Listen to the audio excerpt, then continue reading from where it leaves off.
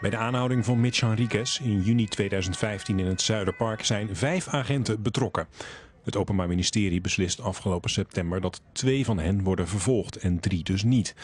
Nabestaanden hebben gevraagd of ook die andere drie kunnen worden vervolgd. Maar daar moet een andere rechter nog over beslissen.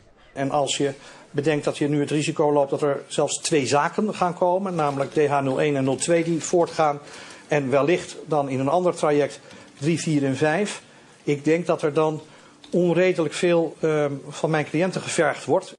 Maar de rechtbank wil de zaak niet nu al stilleggen. Omdat het belangrijk is dat er na bijna twee jaar eindelijk eens een zitting komt. En daarbij heeft meegewogen dat het op dit moment geheel onzeker is wanneer het gerechtshof zal beslissen en wat de inhoud van die beslissing zal zijn.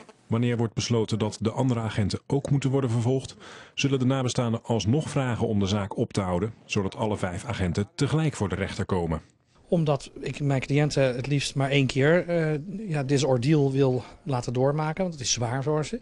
Uh, en op de tweede plaats, het is in het kader van de waarheidsvinding heel dienstig om die vijf verdachten bij elkaar te hebben. De agenten zaten afgeschermd in de rechtszaal, zodat ze anoniem zouden blijven. Omdat ze werden en ook nog steeds worden bedreigd.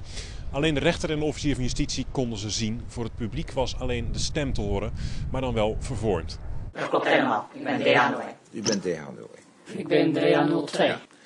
De rechtbank en de officieren van justitie kunnen ze zien. De rest van de aanwezigheden niet.